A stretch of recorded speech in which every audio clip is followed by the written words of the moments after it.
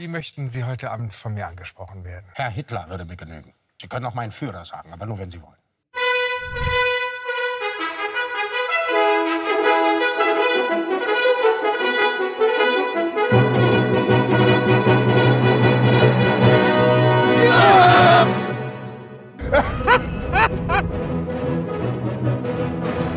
Deutschland, ich liebe dich!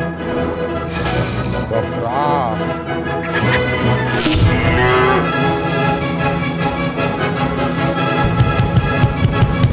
Gehen Sie aus dem Weg!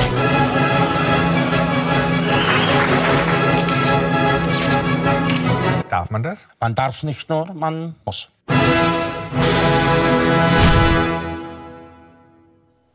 Ist das schön?